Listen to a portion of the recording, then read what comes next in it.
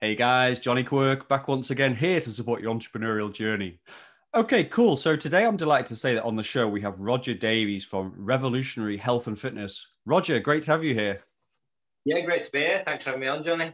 No problem at all, man. And welcome to the show. So I'm really happy to have you here today because, you know, we are our first health and fitness entrepreneur that we've actually had on the Go Solo show. And I think for many entrepreneurs, health and fitness is such a major thing to get right. So, first off, maybe in your own words, could you describe your business? Tell us exactly what it is that you do. Yeah, so I mean, my work's split between in person and online, kind of health coaching. So, a lot of people think diet and exercise immediately, but it goes really beyond that. So, you know, sleep management, stress management, purpose, all those kinds of things as well. You know, time outdoors, time in nature, sunlight, etc. So it's really kind of a holistic approach to health and wellness. So it's the kind of full package, is obviously what you offer then. Yeah, I mean, with some of it, the exercise might be a, kind of the, the, the foot in the door for me. So someone might come to me and say, I want to, you know, lose weight and tone up, and they might just think, oh, I just want to do so many, you know, sessions of exercise a week, and then I'll have to try maybe and chip away at little bits where I can say, listen, if you were to do this, it would make your life better in this way. Yeah. Or it would accelerate your results in that way. Okay, great. And in essence, like what is the service or product that you sell? I mean, who are your actual customers? And what's that USP that sets you apart from your competitors as well? So I guess lockdown probably changed things for me a little bit in that I used to run group sessions and I was a big fan of the group sessions in that it's it's got that community feel to it. Generally, people don't like exercise. People, you know, exercise is a modern invention for the fact that we're not doing the things that we should do. Yeah. Um, so the group sessions were, were great for that. But obviously, lockdown put an end to the group sessions. I did Zoom group sessions. It really wasn't for me. You know, it, it just it's people jumping around in the living room. It gets a bit boring.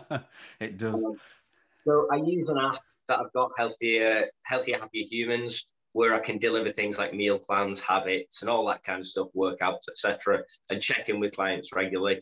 Um, and I guess it's shifted somewhat in that I do have I do have one or two kind of entrepreneurs, uh, people who manage uh, franchises like phone shops, mm. um, and then obviously work from home parents uh, yeah. make up a bulk of it as well. And in terms of those kind of clients, just to drill down a little bit deep into that, you know, like you say they come to you for kind of exercise in the first place. That's the kind of gateway, I guess, coming through to you. A lot of the time, yeah. I mean, a, a lot of people have been sold this idea that they need to flog themselves in the gym to get any kind of result, and that obviously you've heard the the eat less, move more kind of thing, and it's it's yeah. true that species we are moving less, and if you look at say modern hunter gatherer societies, they tend to move more frequently throughout the day, low intensities, etc. Yeah. Um, but the idea that you have to be in the gym for five hours a week is is misguided. A lot of movement is low intensity type stuff. Wow, uh, you're telling me I don't need to be in the gym for five hours. Like, t- tell me what the secret is then. So a lot of it is low intensity. A lot of it is walking. A lot of it is getting out. About like you mentioned, you've been on that big hike. Yeah. Uh, you know, if you did something like that, say once a week, or, or maybe even a couple of times a week, but then you your bulk of it is just daily. Are you getting over ten thousand steps a day? That's yep. really worth it. Um, and yeah, I think people view exercise as punishment as well.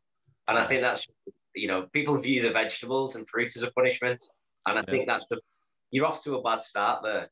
Yeah, so it's kind of almost bringing back into focus what those kind of key fundamentals are for a healthy, fit, fit life.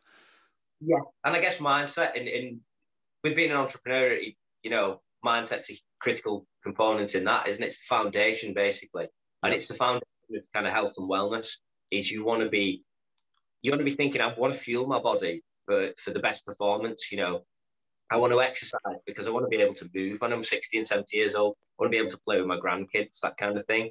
Yeah. Rather than if I flog myself in the gym, I'll get such and such a result.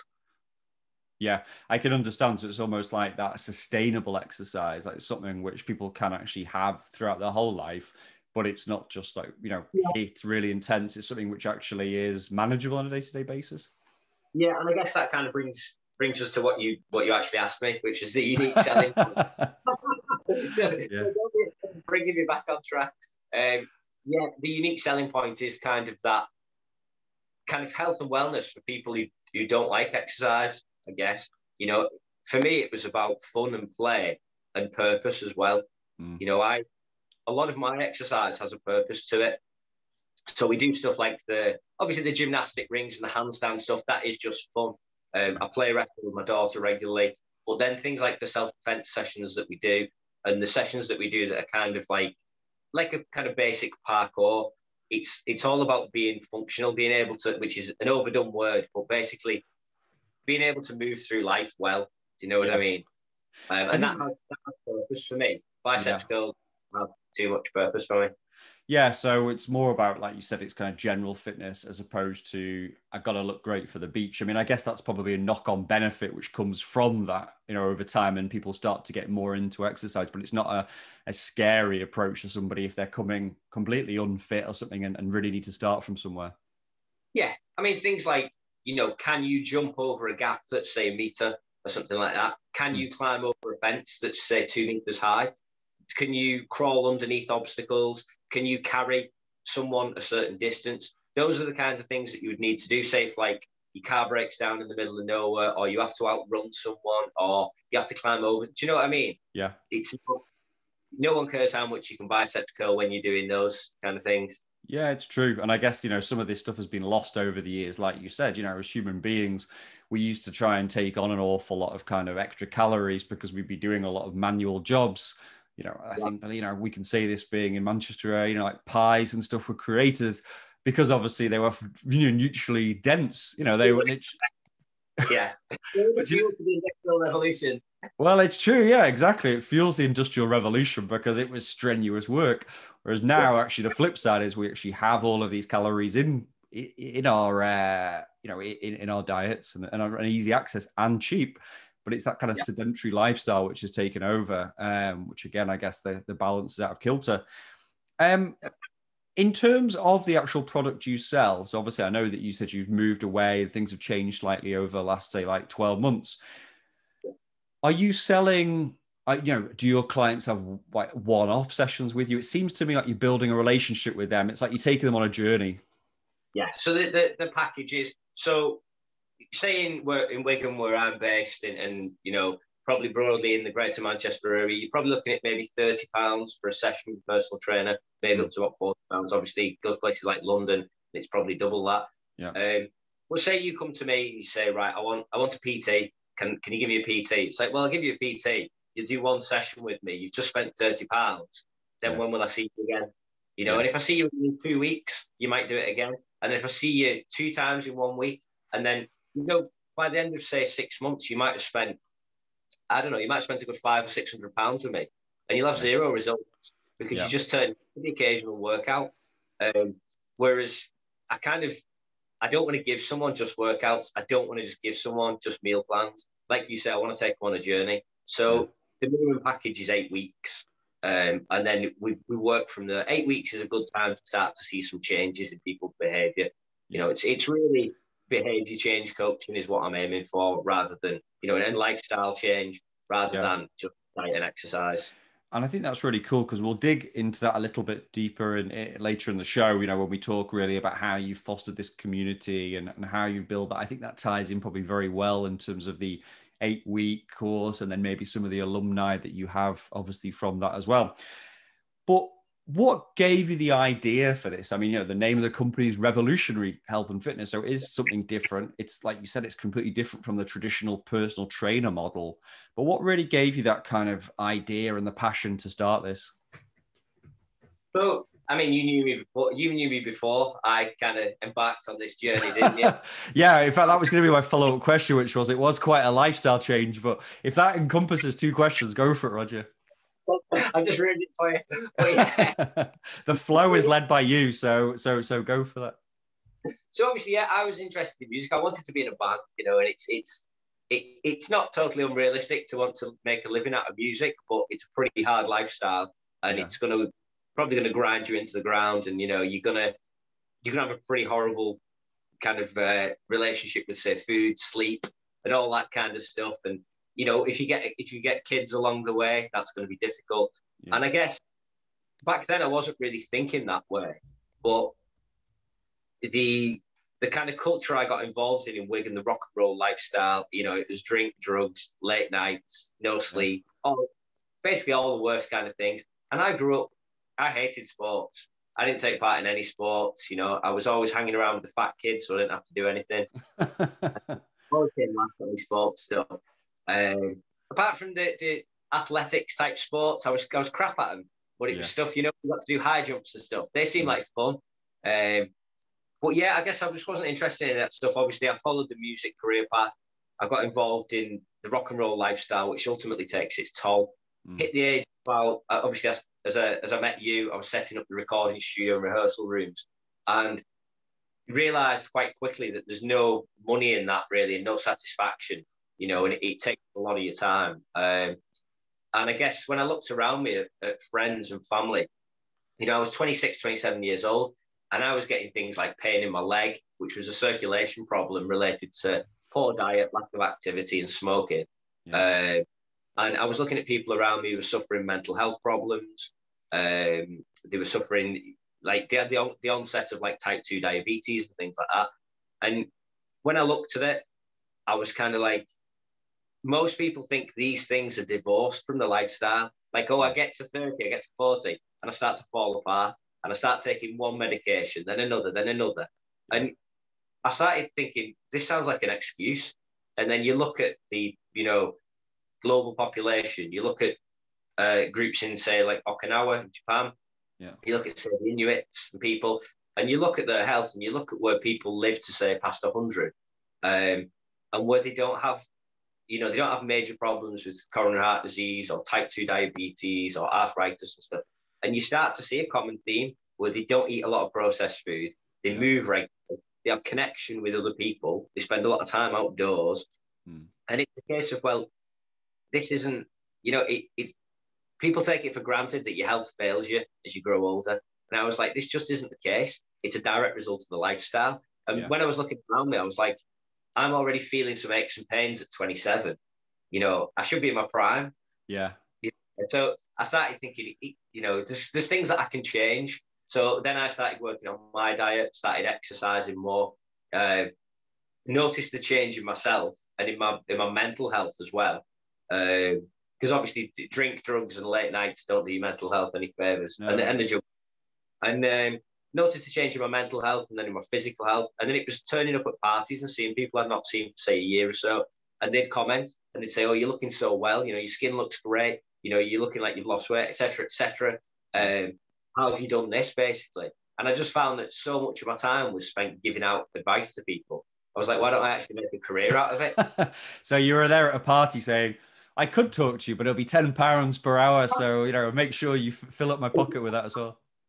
well, that's that's the weird thing because you, you, mentioned that, and um, a lot of people say to me, they say like, why? Because I'll stop and I'll talk to people for half an hour or so, and they'll say, why aren't you charging me for this? And I'll say, well, if I if I turn around and I say, listen, I'm not gonna, you know, i I'll start the meter here, or yeah, I'm not gonna give you this free advice. It's like, well, what if I've, what if my um, reluctance to give someone advice leads to them having further health problems? It's like I don't want to I don't want that guilt. Do you know what I mean? Yeah, yeah. If I can have for free, then I will.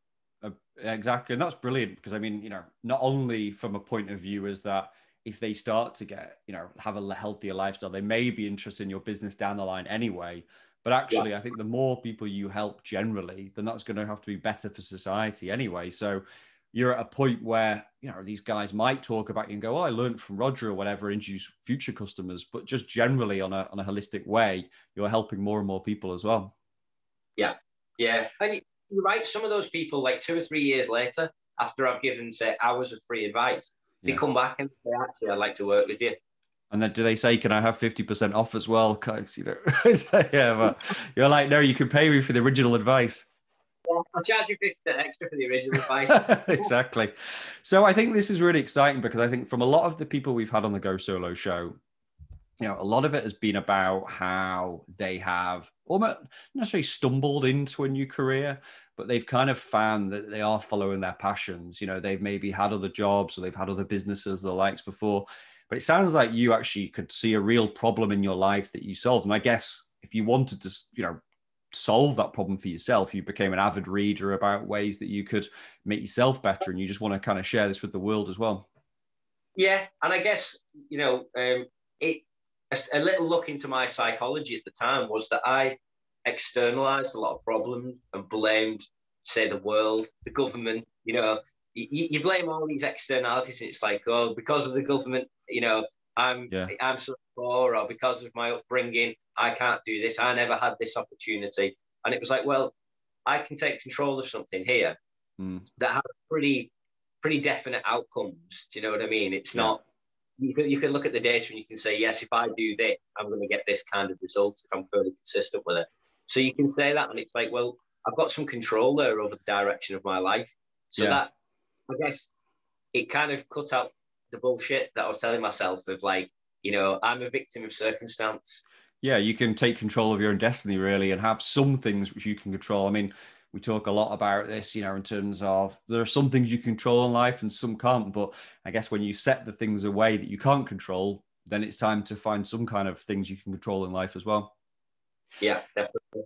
And in terms of that, you know, I always ask this question of our guests on this show, but you know, what is your kind of background? You know, do you come from an entrepreneurial family? You know, like you know, was was starting up a business in the blood? You know, like like tell me, like you know, what made you actually? Because because obviously this isn't your first rodeo in terms of setting up your business. You know, like, you said, you've had another one, maybe another one in the past before as well. What what kind of makes you want to want to do that? Problems with authority. I don't like taking orders. Um, That's true.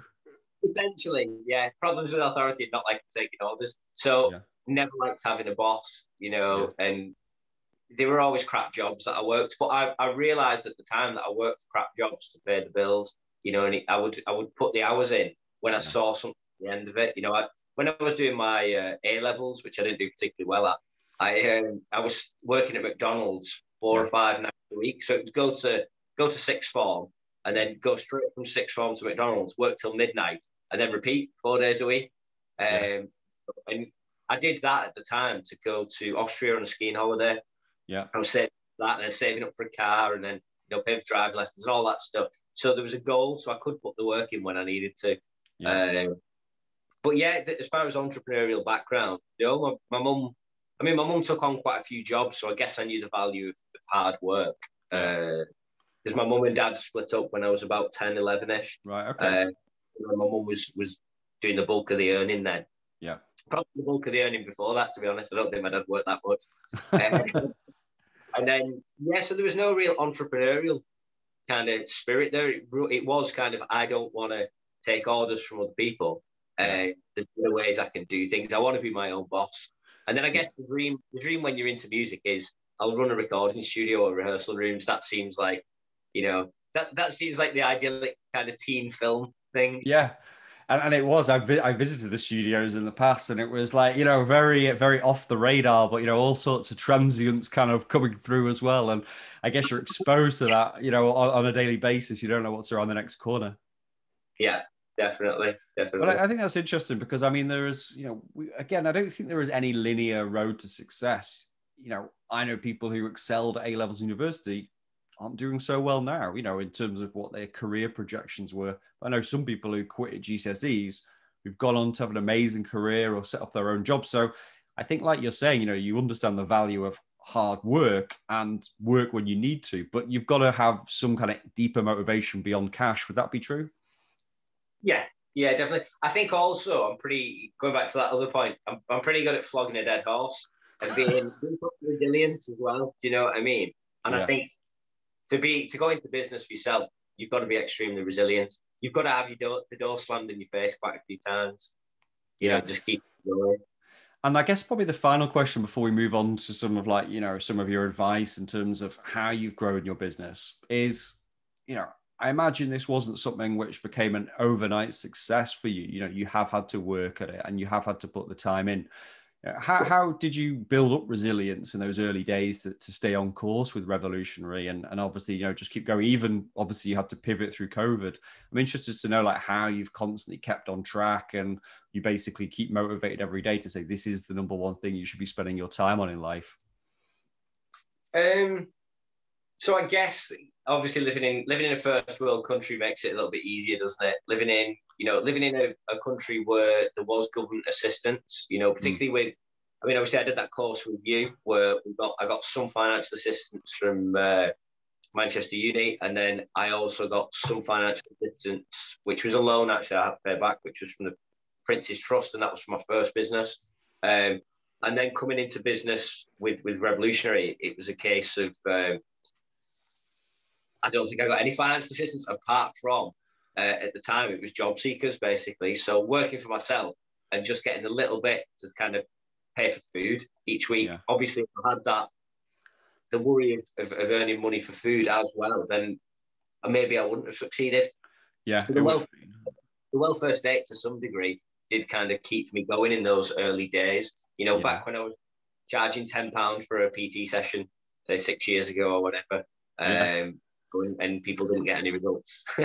yeah, I know, but it happens a lot though, doesn't it? I mean, you know, you've got to have some kind of way, you know, like in terms of easing yourself into it and having that kind of room to experiment. I mean, you'll find it with most entrepreneurs, they'll talk about the day that they had like two pounds in the bank account, or do you know what I mean? When I had those practice rooms, I got rid of my uh, apartment at the time because I thought the way I was going to get kind of screwed with with benefits when I was running that uh, the practice rooms I thought that I need to be basically living at the practice rooms to cut my costs. So I spent six months living, basically sleeping on the floor in a practice room while running the business, getting showers at friends' houses in the gym and stuff. You know, yeah. just cutting my costs wherever I could. Uh, I remember visiting you there, Roger. I remember there being uh, dishes in the sink in the in in the kind of like the small on bathroom there. But you know, you did what you needed to do at the time. You know, you like you said, cut costs to keep that running, and made sure that obviously you know any spare cash was going into your dream, you know, to, to run the recording studios.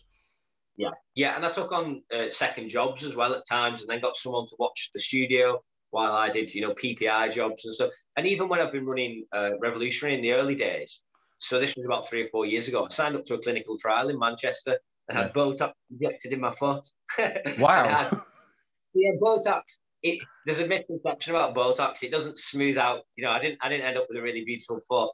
It's um, it's, just an anti, it's an antispasticity treatment. So if you have a spastic muscle, you yeah. inject it, it releases the muscle. So for this clinical trial, it was a few thousand pounds for like five or six days' work, basically.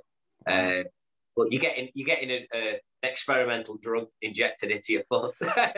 Sign me up, Roger. I don't mind side hustles myself. If you ever hear about many of these, just give me a shout. I'm, I'm more than happy to uh, take the injection for that. So Okay, cool. So I think this is all really good because look, there is no one way to success. I mean, obviously things are going really well for you now, which is brilliant. You know, you've got a really strong identity, you've got a community, you know, you've got regular customers, which is amazing. But there are many ways to, you know, many, many roads lead to Rome, if you will do. So I think taking on bits of work here or there, side hustles, and building it up in a sustainable way is, is so, so important. But in this section, we always dig in on this show, like some of your top tips for other entrepreneurs, really, about how they've done that. So, you know, you've built up a pretty impressive, let's call it social media following, community, content base, you know, and, and you're very, very active in terms of sharing really amazing content, really, like very usable and valuable content to your followers. I'm just interested you give some tips on how people who, you know, in, in any type of business maybe could start working on a content strategy. And again maybe some tips on how you go about running your community as well. So yeah obviously i've got the free the free facebook group. Um, with my free facebook group i've looked at other fitness professionals and i've seen what they've done and i've incorporated some of what they've done. I've also outsourced little bits of my content as well so who I've do you outsource other... that to so there is um, fit pro essentials and that's um, what's her name, Alicia Streger, if I've pronounced okay. that right. Fit Pro Essentials, and basically you can buy content packages from her, and then you just kind of rebrand it a little bit, tweak the language so it's your own. Because there's certain words that I'm not going to use. You know what I mean? It's, she's American. Yeah. Um, the phrases and things like that I want to I want to change. Um, so you put it in your own voice basically, and then put it out there. There's also obviously I've created my own content and and a lot of that from scratch, like videos. And the ideas, I guess, for some of that would be, you know, ask questions. There's no better um, kind of you'll get no better engagement on Facebook than asking a question. So if you put a question out there, like I did the other day, which was, you know, how do you feel about the gyms reopening on the 12th of April? You know, people come on there. Um, it's a case of everyone wants to have their voice heard. So if yeah. you can put a question out there, people will jump on it straight away. But not only that, you've basically got your market research done for you there. Because mm. if they feel, say, say a few people jump on there and say they're feeling anxious, then those people might be in the market for home workout plans. Some people might jump on there and say, I'm going back to the gym, but I've been going to the gym for eight years and I've never had any results. So those people might want to plan for when they go back to the gym. Yeah. You know what I mean? And but even if even if none of those people on there are, are potential customers, you could just talk to them as human beings. You know what I mean? You could offer them some advice, and you can you can point them in the right direction anyway. And do you see this as like, you know, I mean, again, you're playing the long game. I guess it serves many purposes running an online community. You know, it keeps your current customers engaged, maybe some alumni, maybe some people who are interested in complete newbies. Do you see yeah. it as lead gen? I mean, in terms of when you are looking for new customers, you know, where I guess you asked the question, how did you find out about me? You know, like uh, where are those where are those new customers coming from? Um, yeah, I, well, they're coming from Facebook nine times out of ten. Right. Uh, and then referrals as well. I do get referrals from current clients. Um, but yeah, mostly Facebook. I mean, I've played about with Instagram, and Instagram's considered better for the fitness world, isn't it? But mm. it's just, and I prefer Instagram in some ways. But for me, I haven't had the following on Instagram, and I haven't had any any leads through Instagram. So it's something I've just let atrophy while it, you know, it wasn't generating the business. Yeah, and again, this is something we talk about with our entrepreneurs. You know, especially if you're a solo entrepreneur like yourself, you, there's only so many things you can do, and so only so many platforms you can manage to to make a success of it as well. Facebook obviously seems to be working really well for yourself. Um, and it kind of leads me on maybe to the next question because, you know, I'm interested to know the relationships you have with your clients. You know, like yeah. how do you approach, you know, the first time they get in contact with you? how do you approach like you know the follow up with them how do you convert them into a customer how do you keep them you know motivated to come back i'm just interested in what that flow is like so in terms of maybe generating lead gen or actually you know how you uh, start a relationship with a customer to you know to turn them into a, a regular client of yourself yeah so i mean one of the ways is that if someone comments on a post and i've been i've been quite sloppy i guess in, for the past i'd say six to six to eight months, I've been quite sloppy in following up with a lot of potential leads. I did a, a bit of a challenge because I'm a member of a few fitness groups, fitness professionals, and I did a challenge in one of them where we were going through like all our potential leads. And there were other people in the group. It was only a five day challenge.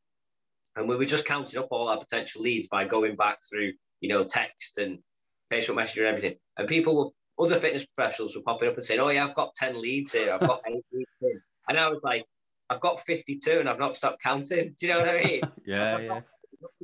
For say say five or six months, and I felt like I dropped the ball on a lot of that. And part of that was because I had somewhat enough work coming in, mm. but part of that is also, you know, global pandemic, slightly shut down, kind of. Do you know what I mean? Yeah. yeah. Uh, so it kind of let some stuff go because I realised that for my own well-being, getting out outdoors and exercising and spending time with friends and family was crucial. And maybe following up on every lead wasn't the best use of my time this year. Do you know what I mean?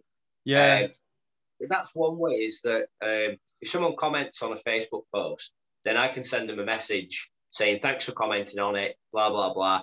And then I can, if they're not a member of the free group, I can say, if you want to join our free group, here you go. Um, and then I can ask them some questions, say, you know, what is it you're struggling with or what is it you're interested in doing?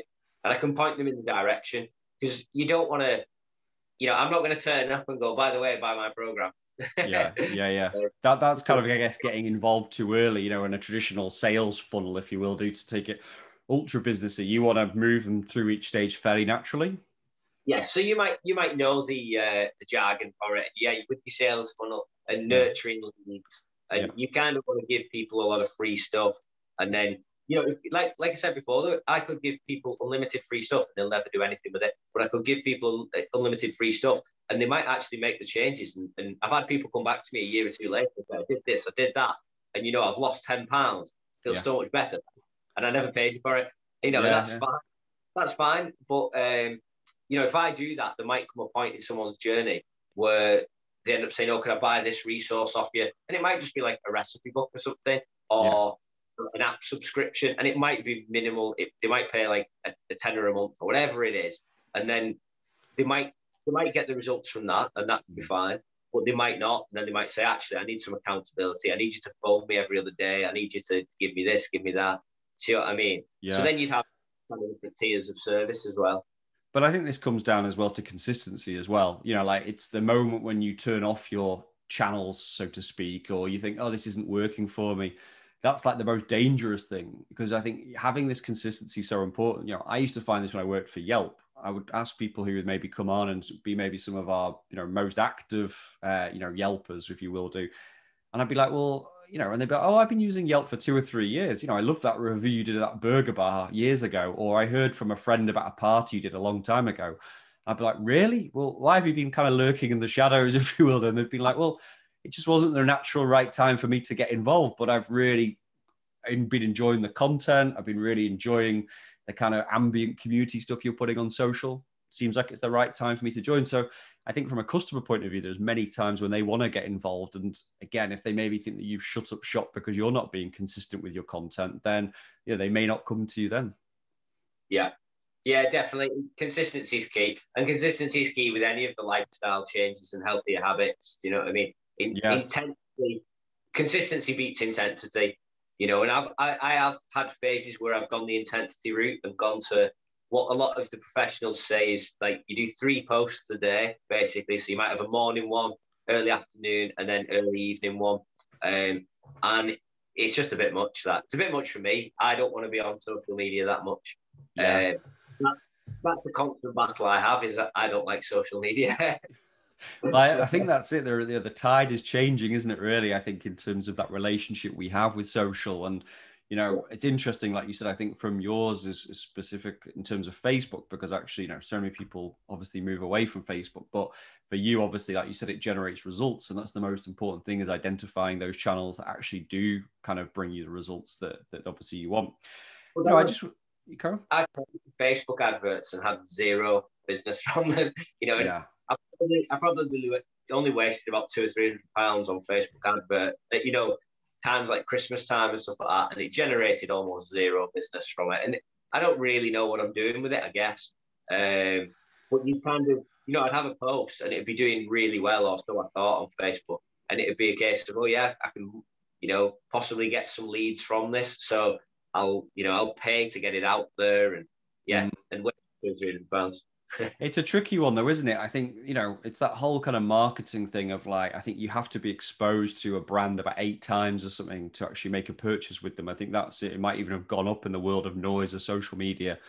But I think, yeah. you know, sometimes a few social media ads on the top isn't so bad as like a, you know, a cherry on the top reminder. But I think it's always going to be that natural, organic, great content, community, whatever that's the real strength that's driving value if you're selling a t-shirt maybe facebook ads is a great way of doing it because people will click make a purchase straight away the money's in the bank. For something i guess when you're selling a service it's very very personable. So i guess people want to believe in you the brand and maybe almost do their due diligence before actually signing up to something like your services as well. Yeah. Yeah. And and also you know the, the fitness industry is full of full of bullshit, isn't it? Really. yeah. Well, you know my opinion. say uh, I don't have any opinion, but yeah, I mean, but I guess the, the thing is as well is like you know, and there is so much exposure. Use Instagram for an example. There is so much free stuff on there. There is so much like you know top 10 tips to get a healthy body or whatever like that. It's like it really does feel like overkill though, doesn't it, on a lot of these channels. So I guess you're gonna have to do something different. And that's why obviously you've got such a vibrant community as well. Yeah, and you just touched then, you said top 10 tips to do blah, blah, blah. You just touched on the kind of um, the clickbaitness of it all again.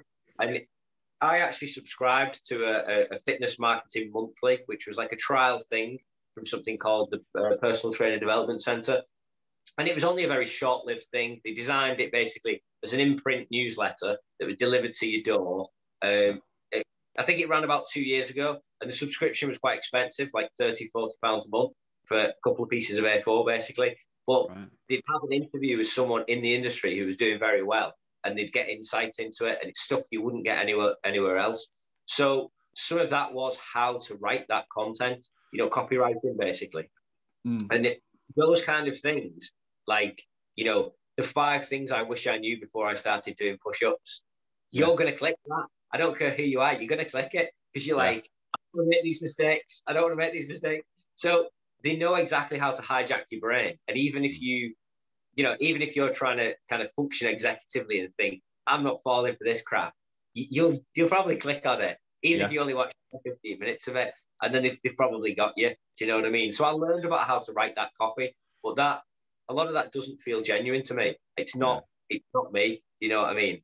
I guess you've got to have that balance, haven't you? You know, there's if you put out the odd one of those, it's kind of great if it fits in with your overall strategy. But like you said, if it's just clickbaity stuff, then you just feel like an empty brand. You don't feel like a personable solo entrepreneur who people want to spend money with because it's making an impact in your life or your business or locally or whatever. Yeah. So then there's something we might call the elevator pitch. Mm. So how can you say something quite succinctly to target someone specifically? So it might be a case of, you know, uh, I'm, I'm looking for, you know, five, 35 to 45 year old men or, or, or, fathers of, you know, young children or whatever, to get even more specific, you know, who hate the gym, who have an unhealthy relationship with food, but, you know, want to want to live longer, feel better and all it, perform better and be a better role model for the kids. And that distinctly says a specific type of person and narrows it down. And then what happens then is I've I've usually got some insight into that person, and particularly because that person would be me. and it sounds I mean? like me as well, Roger. Do you so? but then I will know kind of what works generally for that type of person, or well, more specifically for that type of person, uh, either because I've lived it or I've trained people in that way mm. or hmm. coached people that way. And then when I put an advert out like that, you see it and you think he's talking to me. So. You know, I mean, and, and I am yeah, I mean, because I guess you know, there's there's only so many different types of clients that you can have as well, or or maybe that you can kind of potentially relate to as well. I guess you almost would get more specialized as you'd move on. This is something I've chatted with quite a few people for potential future guests who are going to be coming on this show, and other entrepreneurs who have been. And it's it's almost like once they've reached a certain stage of their business, they feel more confident to kind of work in more niche areas, you know, because they feel they can offer more value and obviously maybe offer more uh, detailed specific support to that kind of type of person as opposed to being completely broad and completely offering every single situation as well. And this kind of takes me on to this next point because you know i think what you're saying you know being a you know, let's say like a movement fitness coach or a health coach if you will do i think it's very relevant to anybody who's listening to the show who might be a business coach a life coach anything you know anybody really who wants to develop relationships but I'm interested in terms of the journey that you take your clients on. You know, how, you know, what kind of tips do you have in terms of keeping them motivated, you know, keep keeping them re-engaged? You know, how, how do you basically keep them going on that eight week journey and beyond, you know, just to kind of keep them at it? Well, obviously that that that can be tough. Um, the conversations, I guess, and what I guess I didn't price for originally when I got into this industry is that you you you price for exercise sessions, you price for meal plans, and your time involved in those, and you don't price for in between. And what I found is it's those conversations and that support that really make a difference. You know, I've had a woman who's in her in her late thirties.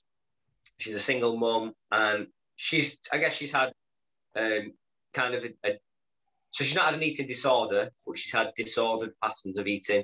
She's had a relationship with food that isn't doesn't serve her very well, um, and a lot of it comes down to emotional problems. And I'm not qualified as a you know psychologist. I'm not qualified in, in mental health or any of those things. Mm. But we can start to identify, you know, she might eat these things at certain times when she feels certain ways. She might have beliefs about herself where she feels like she's not worthy of taking care of um, or where she starts to get stressed and she just thinks, "Oh, I'll just eat whatever I want," and you know, I'll sit on the sofa, etc. Um, and we can identify those patterns of behaviour, and then we can start to change those behaviours over time. But in terms of as a more broad kind of how how we approach the journey, it would be, you know, the first point of contact. We discuss some kind of uh, we, I, I, give a brief overview of my services. So there'll be like a bottom tier where people just get access to all the resources through the app, uh, the meal plans, the workouts, and everything, and the, the login and the uh, so food login, food diary, in, you know, integrate to my FitPal, and that'll be a bottom tier. Then there'll be like a middle tier where they, they, they maybe just have online coaching, and then a top tier where they do in person and online, and then from there they've got a rough idea of what service they need, and I've also given them a rough guide to the price rather than rather than spend my time going through a consultation for them to go, whoa, I'm not paying that. Yeah. Uh, so then we'll go, we'll, we'll schedule a consultation, which will usually be about 45 to 60 minutes, where we go over training history, medication, lifestyle, injuries, you know, goals, and all those kind of things. Mm.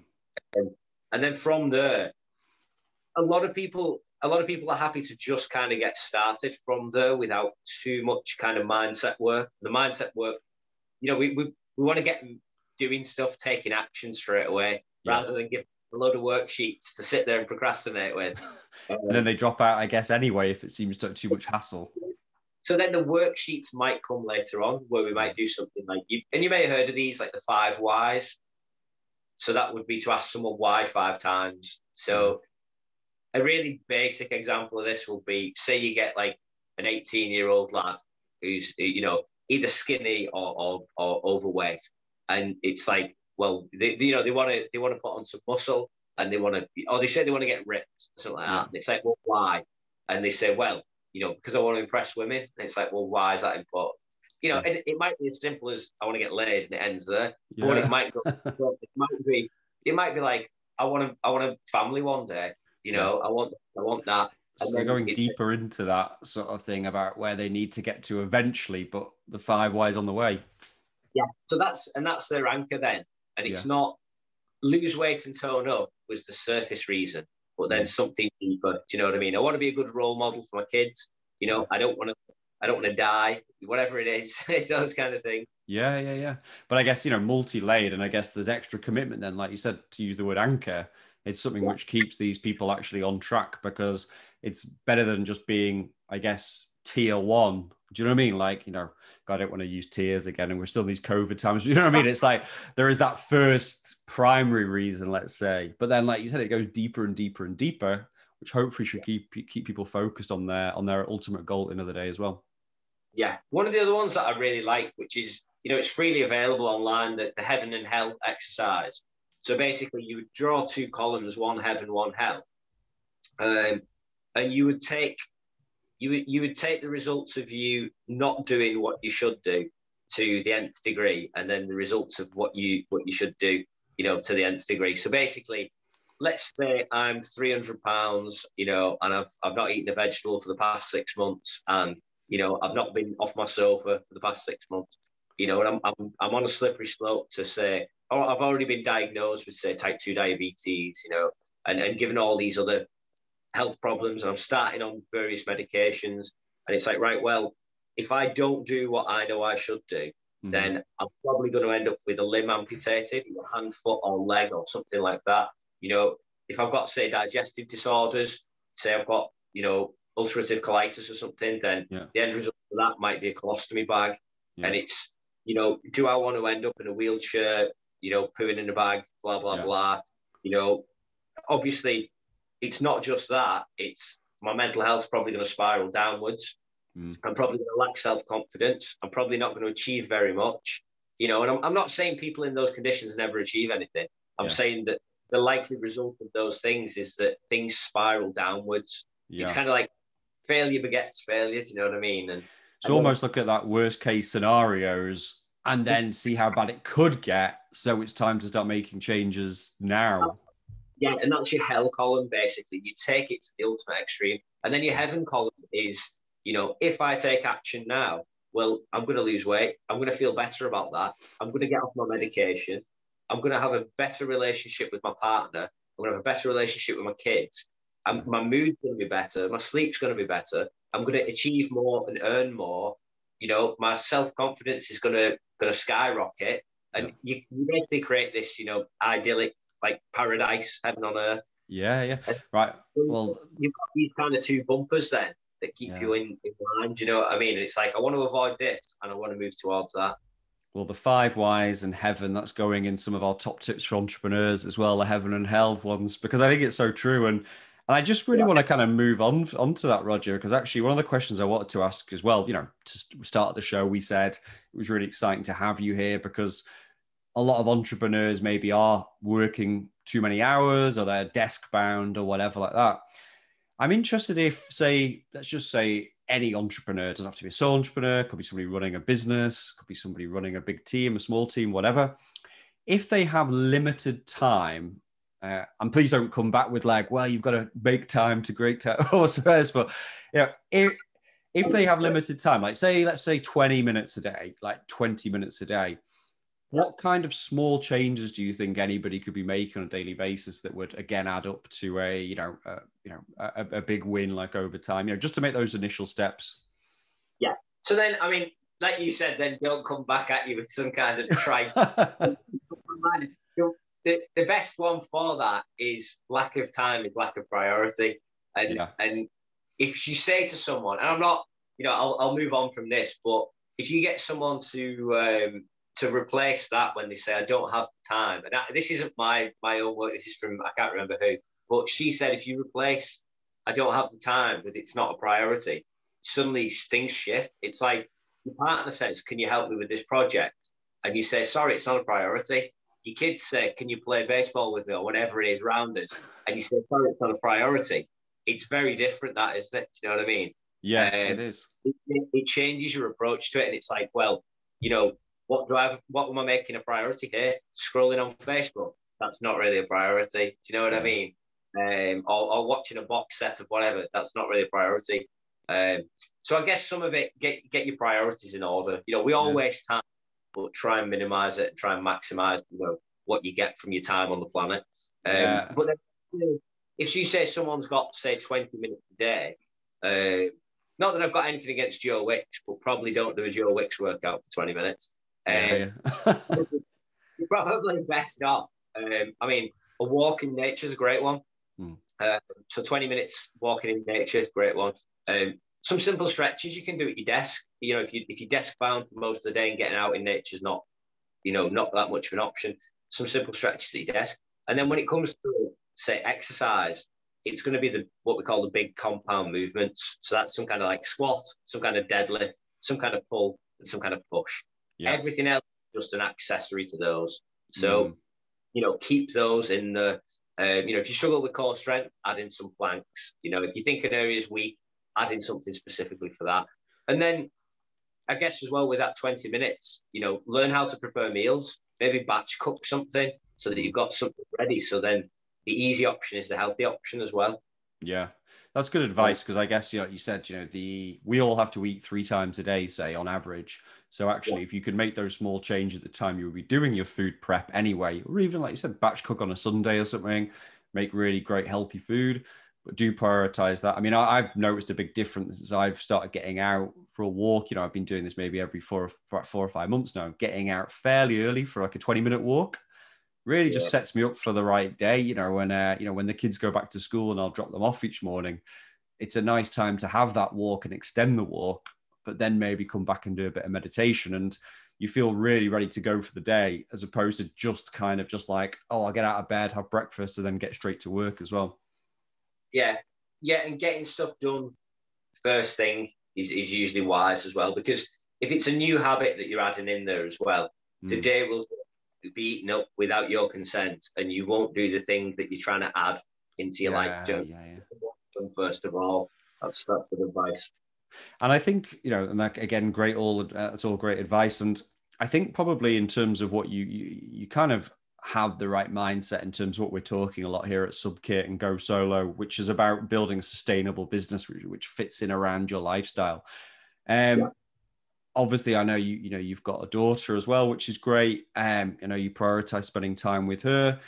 You know, like in terms of that work life balance, like how do you get it right? I mean, because I guess sometimes, especially in your industry, it kind of crosses over quite a lot as well. You know, people will come back and go, "Oh, I love running," or "I love doing exercise." Whatever. This is kind of your your job as well. So, what sort of stuff do you put in place to achieve a work life balance? Yeah, I mean, what you said then, I love running. I guess I guess a lot of my frame of reference also comes from like how am I going to feel about that decision that I made when I'm on my deathbed? Do you know what I mean? So let's, let's say I do love running.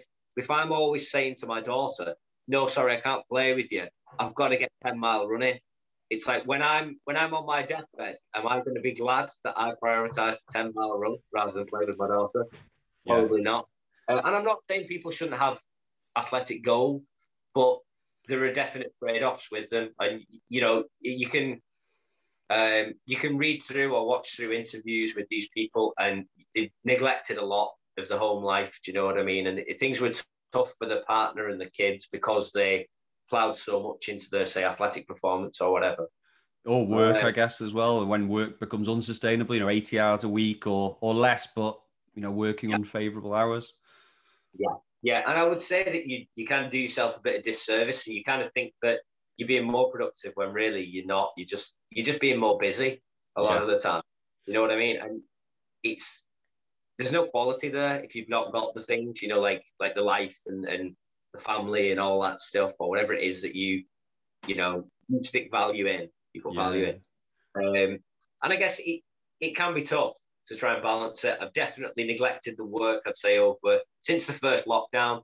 The work mm. has come down a little bit while I prioritise spending time with my daughter. And only over the past couple of weeks have we started to schedule some stuff, which has been tough.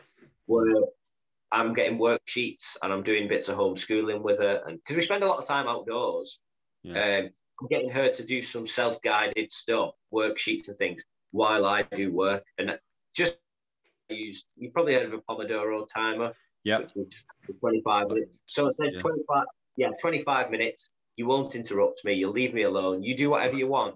And I'm going to do study 25 minutes. And she did really well with it. She did she did pop over trying to show me some photos from a photo album of us and stuff like that. But she was like whispering in my ear, you know. And then, well, she did really well with it. She did. And then I've also got and I've been using this this app. You probably won't see it anyway on there, but I'm just going to find the, the name of it. Uh, save my time. So right. save my save my time is a is a, a tracking app for tracking how you spend time. And you might have used stuff similar on Apple devices where it'll track you screen time. Now this tracks your time in the entire world. So basically, you enter it. So I come up with the categories of things. I come up with the name of the activities, and then I have them on a kind of dashboardy thing here, which you'll see, uh, just to see how it's laid. You can't read them, obviously, but basically, I've got things like sleep, uh, working online, chores, fannying about on the internet, which is obviously one of the um, having a minute, uh, thinking, uh, work admin, dreaming, planning, eating, playing guitar, being active, friends and family time, those kind of things. And then I've categorized them as well. So like the friends and family and the chores and the sleeping and all those go into the category of life. And then um, I've got the work category, which obviously has the online work, the in-person work, the admin work, and all that stuff in there. And then every week I can look over my statistics, and you can get a little a little chart made out of it. There you go. Okay, cool, very cool. I can see, I can see how much sleep I had over a day, over a week, over a month, or over a year. Um, and I'm not saying you should obsessively use that every single day if you like, because I come off it for, for, say weeks at a time. Yeah. yeah. Um, but it's good to see how things slip when you don't, you know, you're not conscious. But it's a good use of technology for a purpose yeah. for it instead of technology being a time thief or something, or just literally zapping you in. It's a way of you actually using technology for some positive outcome as well. Yeah, yeah, definitely. There was another another app which I used in tandem with it, which I don't use as much, called Stay Focused which actually yeah, I used to use that. Yeah, it's it's a really good one. It is, yeah. and you can have it so you can use Facebook for say five minutes a day. And when you click on Facebook, a timer comes up saying you've got five minutes, and that yeah. makes you be a bit more intentional and focused with the use.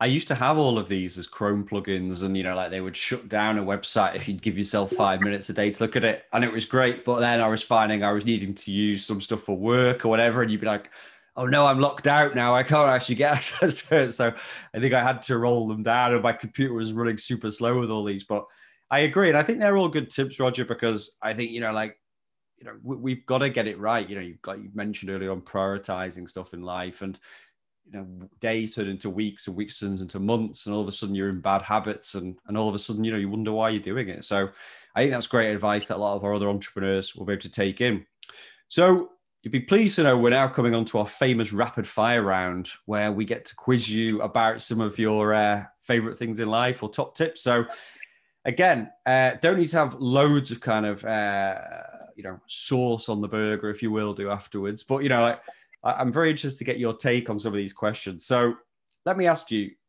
who are some of your favorite entrepreneurs and why? Um, I guess T- Tim Ferriss was was the kind of guy who got me into you know entrepreneurs. You know the four hour work week and plowing through that, and there's a lot to digest in that, and I do come back to it every so often. And obviously things like stay focused and and those kind of things were a lot his. I mean he he probably didn't really invent much new. He just collected a lot of data, didn't he, and put it all together. Yeah. Uh, but it was a lifestyle, like, or a new philosophy for looking at life, wasn't it? Yeah, and it, it, was. I mean, he he basically distills, doesn't he? You yeah. know, and, and gets it out there. And he, yeah, he's done a really good job, and I do like him, and I still check in with him every now and again, kind of check it, check what he's up to. Um, so I, guess he's one of the biggest ones. Gary Vaynerchuk, I checked out, and I occasionally like some of his stuff. He's not. Yeah, yeah I mean, you checked out Gary Vaynerchuk, haven't you? Oh yeah, I mean, we know. I think the good thing about this show is I think Ferriss is pretty much name checked by everybody, which is great because I've been an advocate for many years. All the books are here as well. So, and like you said, I pick up the four four hour work week probably at least every eighteen months and think. I need to get back to not reading so much news or whatever the tips are in there. But uh, yeah. but yeah, and, and Gary V as well. Like you know, he gets picked up. But again, I think he's very chalk and cheese. But actually, every entrepreneur who's, who's mentioned Gary Vaynerchuk has actually said uh, again they like some of his stuff. But some of his stuff's a bit too intense, really. You know. Yeah, I think he comes across as, as very angry a lot of the time, and um, he can come across quite materialistic, which just isn't what what I'm really about, I guess. Um, and I think that there's a danger of that with a lot of entrepreneurs. They come across quite materialistic, like the patching holes in the in the life with material possessions. Yeah. Um, when you dig a little bit deeper with Gary Vaynerchuk, I find like a lot of it does come from a good place. And mm. you know, he grew up very poor, and he has been through his hardships. And I'm not saying you have to do that, but you know, he likes some expensive things because he likes those expensive things, and that's that's fine. Yeah, I mean? yeah. And who would you say is your most inspiring person in life? Um, that's a difficult one. this can sometimes be a tear jerker as well on the show. So I don't, I don't, I guess I haven't thought that one through too much. I guess, um, I guess, I guess I'm inspired by by people who can just who can change things around. Do you know what I mean? We've got yeah. grit, perseverance in general. So, you know, sometimes I'm inspired by my own clients yeah. in terms of like what they can do in the face of adversity. Wow, I, I can see that being a new, uh, you know, sound clip we're going to add to your website as well. Like after this as well, so you'll have a five hundred percent increase in in signups o- overnight as well. But it's true, you know. I guess you're so, you know, you can see people's journey. You can see where they start and where they end up. Yeah, there is someone else who kind of I check in on every now and again because he's a bit chalk and cheesy. David Goggins. I'm guessing you've heard of him. I don't know. I'm, the name does ring a bell, but I'm gonna have to look into this afterwards. He was a Navy SEAL and he was like an Air Force something, and he was some other kind of. He's basically been at like the elite level within like three, you know, kind of like the Navy, the Air Force, and something else. Basically, yeah. no one else has ever done that. The guy, the guy runs ultra marathons, hundreds of miles. Yeah. You know, with, with fractured shins, and uh, it's just insane. These and, guys uh, are crazy. Yeah, he just screams in people's faces all the time, and he, he with him it kind of comes from a good place. And I, I um I listened to one of his audio books. Uh, I think it's the only one, and I think it's called "Can't Hurt Me." Um, and basically, the first chapter is just totally depressing, and it, you know him being abused and just having an awful life where he lived, and and really not having, you know, his needs met and anything provided for him. And then basically in the face of that adversity, it's a case of, well, I can just crumble and break and die, or I can kind of face it and say nothing's going to break me and, you know, push himself to the extremes. Yeah. This is why I don't, I don't, I don't, I never put that one in the prep for our guests because I think sometimes you need to process it in real time to think of who's inspiring, you know, down there. So he's really good every so often to watch and think, you know, I'm, I'm bullshitting myself. You know, I'm not. Look at what he, he's like. He's trying to do 2,500 pull-ups in 24 hours. You know, the skin's peeled off his hands. You know, and he's having, and then he fails miserably, and then he comes back and does it three months later and fails again. Then he comes back and does it and, and wins. You know what I mean? He gets the world yeah. record. wow. Yeah, I'm gonna check this guy out. Actually, there goes my Friday evening. Anyway, and want to check out. There's an interview with a with a guy. Like, i in fact, I'll send you the link later. But there's an interview with a guy who basically got David Goggins to live with him for 30 days as his personal trainer. basically, he says to him, I want you to live, when he meets him, I want you know to come and live with me for 30 days and be my personal trainer. And David Goggins says, Well, basically, if you're insane enough to ask me that, then I'm insane enough to come and do it. Um, and yeah, he, he's he, he, talks about how um, he has him doing burpees on his on his break in the office, and he's like, you know, he's David Goggins is like do 100 burpees, and he's like, but I've got to get some. He's like, do 100 burpees now, do it. Uh, it's like you're not going back to work until you've done it. And he says, he says, you know, it was intense 30 days.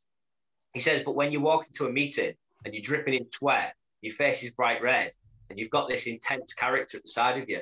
It's like you close every single deal. They're like, I don't care what you're selling, I'm buying it. I was gonna say, yeah, and also like you know, I hope the guy looked like Schwarzenegger after 30 days or something like that. You know, I, he probably was run through the mill as well. Um, if time was of no significance, Roger, like what would be the number one thing you think you could do over and over again in your business to make it grow? Um, I guess I guess talking to people is really the uh, the thing that makes it grow the most. Do you know what I mean? Yeah. Because you, you, can share, you know, you can share these I mean, you can share testimonials, and I, I, guess I haven't been as great as I could have been at sharing testimonials. Particularly getting a client to do a video testimonial is particularly difficult, um, and that would, you know, a video testimonial would really get get clients through the door. I think because then you've got like the journey you mentioned before, you've got that, but in a video format, someone describing it in their own words. Yeah, you know, very say, powerful. I, yeah, I used to struggle with such and such thing, and then I met Roger, and then I did this, and now I'm in this position, and my life is so much better because of. Do you know what I mean? And that's yeah. that's kind of the ultimate, basically. Yeah. Video and testimonial. Got, yeah, so video testimonials would probably be the number one thing if I could, and it's something that I've just not maybe invested enough time in, and it's also more challenging to get clients to do that kind of thing. Yeah. And tell us a funny anecdote about something that's happened to you in the world of business. Does anything come to mind? In the world of business or in, in the sessions or remember this is a family show so it's a yeah i mean um i guess it's it's not it's not the most amusing industry i guess uh, i mean the, during during sessions the, there are occasionally awkward things that you don't know how to react to mm. uh, and I've misread situations. I had a client who fell off a, a one of the exercise balls. He was in his 60s and it was, it was a basic exercise where you lift your legs and he just yeah. kind of went just back onto the floor, hopefully not injured. Uh, and then there was a client who I kind of kind of misread the situation. He was in his 30s, you know, and when you're exercising quite vigorously, you can lose control of some bodily functions, you know, and he just he just let out a loud fart basically. But he was in a compromising position, and I totally misread it, and I laughed and he wasn't the kind of guy who laughed at that kind oh, of right. thing. You got to shut it up straight away. Yeah, I guess that's it. You know, like even if even if you have put in the hours building those relationships, again, you've got to know how to deal with them in real time when something like that happens. Most people find it funny, but then you do get some who don't. So, yeah, definitely. Um, as an entrepreneur, what does success ultimately mean to you? Um, I guess a lot of my my success will be um, I mean, broadly, we'd be having a balance between you know work and life and family and those kind of things, and the things that, that I'm passionate about in my own life. Yeah. Um, but then, in terms of the business being a success, it would be, you know, changing people's lives. I guess is you know, and and yeah, it's probably cliche to try and change as many lives as possible. I would. I, it's it's more like meaningful impact on those people that I do change. Yeah. You know, rather than you know, I don't want to be someone who changes someone's habits for twelve weeks. I'll get some bikini ready or beach ready or whatever it is. I, I want to lead to a better quality of life for them and for the kids and Yeah. improve people's relationships with their own bodies, with movement, with food, with all those kind of things.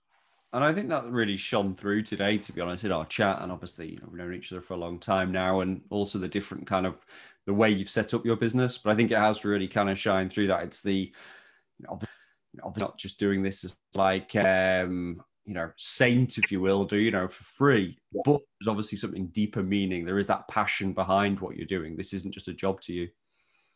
Yeah, yeah. I mean, you mentioned again going back to the people who inspire me. There's a guy that I guess I've heard his name before, but I've never really checked him out, and he was Jack Lalanne, um, or Lalane, and he came up with the juicer or one of the juicers, the Jack Lalanne Power Juicer, Yeah. and um, I think he was probably um, what 19. When was he born? I think he was probably born in like the 1920s, 1930s, something like that. But um, on his 70th birthday, he swam with 70 boats attached to him, with a person in each boat. So 70 people in 70 small boats attached to him. He swam. There's video footage of it. Right. Um, and at the end of this event, he gets onto the pier and does fingertip push ups as well. Um, but he was kind of, and I'm only just really digging into him because he's kind of one of the, old- you know, the old kind of greats in the physical culture world. But Yeah. he was someone who came on TV and was like, listen, you don't need to feel like shit. You don't need to, you know what I mean? He was like, you can have a good relationship with food. And when you read back through his history, um, I think he had, what was it now? He, he had some kind of violent outburst where he, I think he attacked his brother with an axe or something. And then he tried, he set fire to his parents' house and other things. This is in his like early years. And then at the age of 14, um, he went to some kind of nutrition convention and basically he was told that his whole behavior in his life and his you know everything was basically down to the fact that he ate crack and then he Yeah. just totally turned his life around and became this like you know ultimate hero and also, you know, like I keep talking as well in some of my personal stuff that I do about, you know, Maslow's hierarchy of needs and that kind of self actualization. And I think for a lot of people, it is that it's kind of finding the reason why they were put on the planet and everything aligning in their life to, to reach that kind of reason why they're here. And I think once you find that point of reason for actually being here, whether it's an entrepreneur, a person, if it all comes together, then you're kind of in that flow state. You can kind of do anything. And it's almost like when you have your biggest wins and biggest successes as well. yeah yeah But I Yeah, am. Uh, I've got some YouTubing to do tonight based on all the people that you've recommended here. but i think with you, that hierarchy of needs it's difficult juggling all that stuff isn't it and i guess um, yeah i guess what i'm doing is is feeding exactly back into that because i always try and get the basics right i always make sure i get outdoors every day i always make sure i eat you know say at least five portions of veg but usually 10 or more I eat protein all the time. Do you know what I mean? I try and get all those basics because I know that they affect my physiology. And if I mm-hmm. don't have those those key ingredients, then I can't think myself better. Do you know what I mean? Well, yeah. I mean, like you said, you know, even if you just get the basics right, you've at least got the right platform and the foundation then to build on top of. You know, don't get the foundations right in anything in life, you haven't got anything to really excel there at the top as well. Yeah, I think it, when the first lockdown hit in, in the UK, I think if that had have happened 10 years ago in my life, I'd have been in a very, very bad place. You know what I mean? I wouldn't have been in the place that I was uh, last year when the, the first lockdown came. I think, you know, there were a lot of people who, you know, a lot of people took their own lives. A lot of people ended up with serious mental health problems. Um, and I think I would have probably, you know, fallen more towards that category than kind of the way I just I withdrew a little bit from social media because I found that was good for my mental health. And then I went out, and time in nature, and did all the things that I know, you know, contribute to me being healthy. Yeah, it's so important. It's so important. So, final question, Roger, you'd be pleased to know. But it's a uh, for those people out there who are maybe thinking of taking the plunge and going solo. You know, what advice would you give to them if they were thinking about starting their own thing? Um, I guess think seriously about what you want to invest in it, how much time and energy you want to invest in it. Um, and what you're prepared to do. But it's it's never going to be easy. There's never an overnight success. There's that people plug away at these things for a long, long time. Um, yeah. But if you if you're seriously committed to it, then don't worry about say, you know, taking a side job where you can earn a little bit of money to help fund that. Um, but you do have to be prepared to do it for very little or no wage for a while. You have to, so you have to be passionate about it. Yeah. Um, I wouldn't, I wouldn't become an entrepreneur or, or you know, set up my own business just based on the idea that I'm going to make money from it. I yeah. think that's just that's guaranteed to fail. That's great advice. I mean, you know, it's a cliche, but you know, the money will come down the line if it's meant to come. You know, like you said, you're six years into it now, and it's you've built a really solid base and customer base, etc., etc. But you know, if it probably wasn't working after a few years, maybe then it was the time to think, well, I'm going to switch to some other idea and do that. I'm, I'm not saying maybe for you because you've got an extra kind of passion and reason for doing this, but people can maybe pivot a bit like your first business. You thought I wanted to move into something else so I think, like you said, you know, you've got to be prepared not to kind of like earn too much early on, but know that if you build the right foundations down the line, hopefully you'll make a living and then can grow the business from there. Yeah. And I realized, I, remember realizing that, that sound engineering, PA hire, recording bands, all that stuff wasn't my passion because I met someone through the sound engineering work I was doing in venues, and he put me in touch with people who were putting on the music festivals in the UK and was looking to get me on the big stages there. Yeah. And then he got some work on a TV show called the Johnny and Inel show in Manchester. And I did two weeks on a film set, oh, well, a, a, a TV studio set. I did a, did a children's TV show. And, you know, my wage went from, well, when, you, when you're running practice rooms and bands are paying you £5 an hour for a room, you know, you, you're struggling to eat. And then you turn up on this uh, TV show and they're like, right, how much do you charge for this? And I was like, well, I, I don't know. And then one of the other sound engineers was like, tell them 150 a day. And I was like, right, right. So I said 150 a day. And then, and you know, this is about, I don't know, what is this like six or seven years ago? And then um, they said to me, oh, yeah. And then how much do you charge for the hire of your equipment as well on the set? And I'm like, all right. So uh, on top of that as well.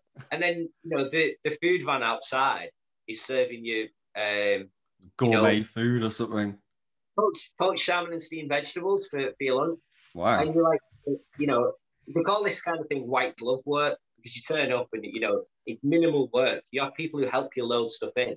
Whereas I'm going to venues and getting paid 150 quid for eight hours in a night.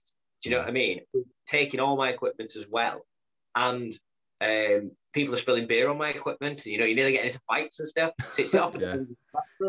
And then yeah. from that, I got a day's work on uh, Blue Peter as well, yeah. which again, you know, you're looking at say three hundred pounds for two or three hours work. Mm. But what I realised then is I turn up and do the Blue Peter thing, which was an American artist called Bridgit Mendler, mm. and I've got um, at the time I just split up with my daughter's mum. We just we just broken up, so my head wasn't in the right place. I turned up with some equipment that I'm not 100% familiar with. This is probably more this is probably more funny than the anecdotes I've before. turn up, yeah, turn up there, not really knowing what I'm doing. Minimal sleep. I've taken a, a, a semi-legal stimulant called modafinil to keep myself awake. I'm totally anxious about it.